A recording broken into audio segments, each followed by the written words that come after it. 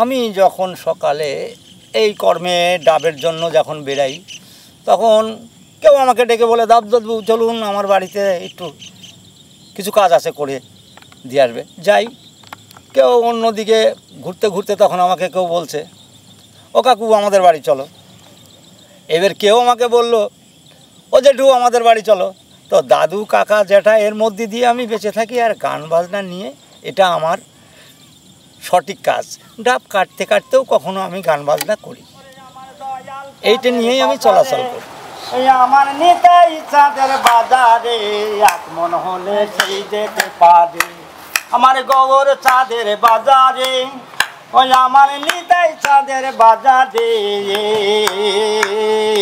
এক মন হলে সেই যেতে পারে যে এক মন হলে সেই যেতে পারে। আমার নিতাই চাঁদের বাজারে ওরে গৌর চাঁদের বাজারে, এক মন হলে সেই যেতে পারে। তবে গান বাজনার জগৎটা নিয়ে আমি থাকি, তা আমার চালানোর মালিক একটা আছে, এটা আমার বিশ্বাস আছে।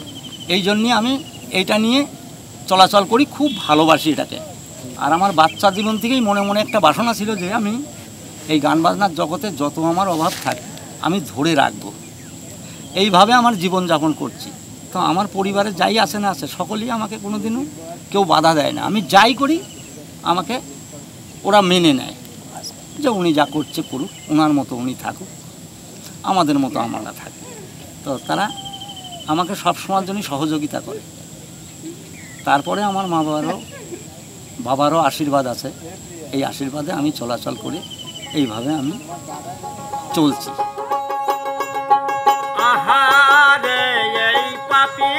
ভাগ্যে আমার দয়ার চাঁদে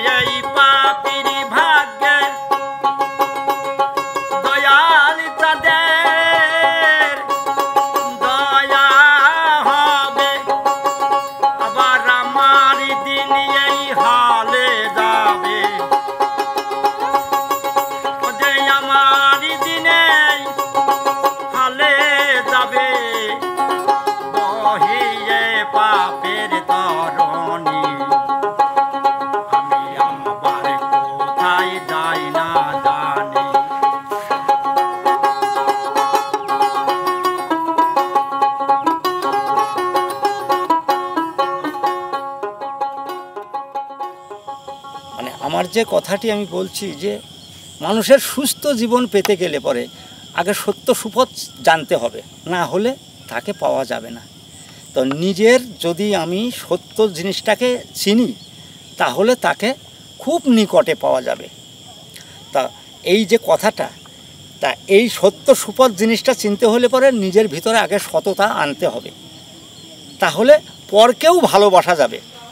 নিজের ভিতর অসত্য জিনিস না থাকলে তাকে সবসময় ভাবা যাবে যে এই ছেলেগুলো ভালো।